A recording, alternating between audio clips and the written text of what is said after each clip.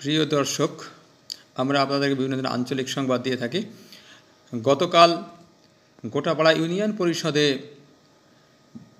বঙ্গবন্ধু কন্যা জননেত্রী মাননীয় প্রধানমন্ত্রী শেখ হাসিনা মুজিব বসের শপথ পাঠ করেন, সেটি কিন্তু গোটাপাড়া ইউনিয়ন পরিষদ থেকে সরাসরি সম্প্রচার করা হয় এবং সেখানে সম্প্রচার স্থানে উপস্থিত ছিলেন গোটাপাড়া ইউনিয়নের সুযোগ্য চেয়ারম্যান জনাব শেখ শমশের আলী সহ তার পরিষদ বর্গ।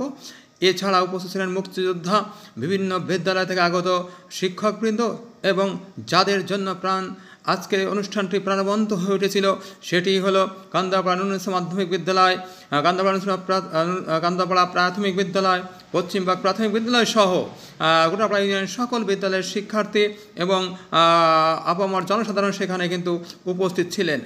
আমরা সরাসরি আমরা দেখাতে চেষ্টা করছি যে কীভাবে কি জনসমুদ্র সেখানে ছিল, কি পরিমাণ উচ্ছ্বাস, ভালোবাসা দিয়ে বঙ্গবন্ধু কন্যা জননেত্রী শেখ হাসিনার এই শপথকে তারা গ্রহণ করেছে এবং তার শপথ অনুষ্ঠানে এসে স্বতঃস্ফূর্তভাবে এটিকে অত্যন্ত প্রাণবন্ত করে তুলেছিলেন এবং সবাই কিন্তু এটা বিজয় দিবসের যে একটি প্রাণবন্ত অনুষ্ঠান সেখানে হয়েছিল সে সেটি কিন্তু আমরা লক্ষ্য করছি। এবং দেখুন শিক্ষার্থীরা কত উজ্জীবিত ছিল জাতীয় পতাকা নিয়ে তারা কিন্তু শপথ গ্রহণ করেছেন।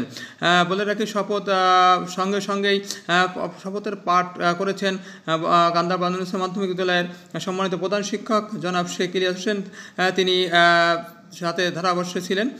এবং অনুষ্ঠানটি কিন্তু দেখতে পাচ্ছেন হ্যাঁ সব পথকে সামনে রেখে আমরা একচল্লিশ সালের গোলে অতিক্রম করতে চাই, এই বলে শেষ করছি সবাইকে ধন্যবাদ।